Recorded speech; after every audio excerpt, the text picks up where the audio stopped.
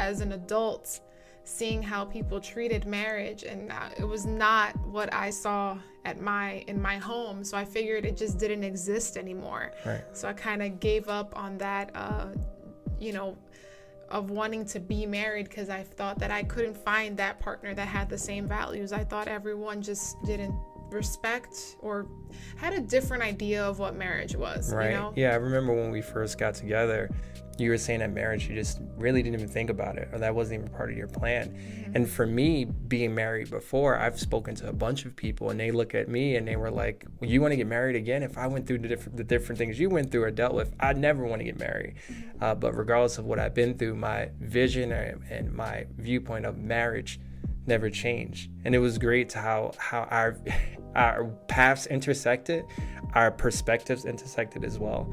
And it brought us to where we're at today